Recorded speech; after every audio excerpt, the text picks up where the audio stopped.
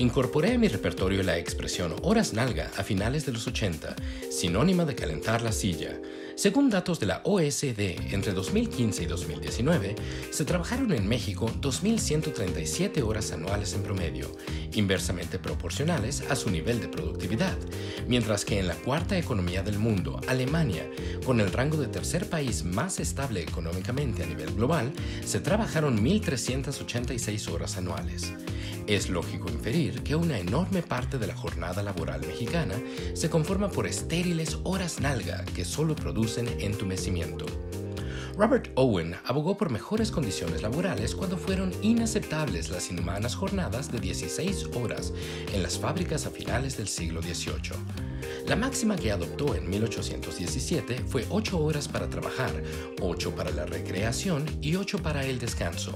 Lo anterior tardó en cuajar hasta que en 1914 la Ford Motor Company instituyó la jornada de 8 horas, duplicó salarios e incrementó la productividad.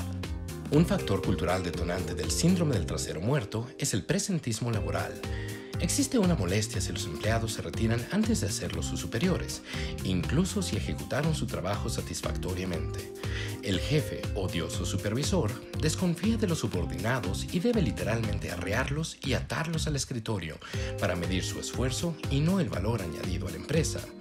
La actitud estoica de quien permanece en la oficina hasta altas horas de la noche se considera, erróneamente, una muestra de mayor nivel de compromiso con la organización.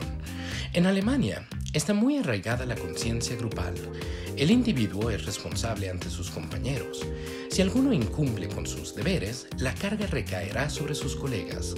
En aras de la eficiencia se favorece la estrategia colectiva y el manager, más que jefe, es un mentor. Por ello se reprueba la impuntualidad, el uso del celular para asuntos personales y el cotilleo. Los alemanes aprovechan el tiempo y han comprobado los buenos resultados derivados de privilegiar la calidad de vida de sus trabajadores que disfrutan del sano equilibrio entre profesión y vida privada gracias a una jornada de 35 horas semanales, 28 en el sector metalúrgico. Buscar la obtención de un sueldo y prestaciones seguras supone cumplir horarios y normas. Apostar por la independencia y por ser dueños de nuestro tiempo requiere disciplina y aceptación de la incertidumbre por una remuneración cierta. Están a años luz de distancia mis jornadas hasta las 4 de la mañana por bomberazos o por si algo se le ofrece al jefe, pero mis glúteos no salieron indemnes. Sufrieron los efectos de la fuerza gravitacional y la pérdida de musculatura. No quiero imaginar a qué artilugios tendría que recurrir hoy en día para distribuir mi peso corporal alternadamente en dos nalgas hormigantes, aunque sí que continuaría fiel a mi inveterado hábito de sentarme durante menos horas sobre la izquierda, la más débil.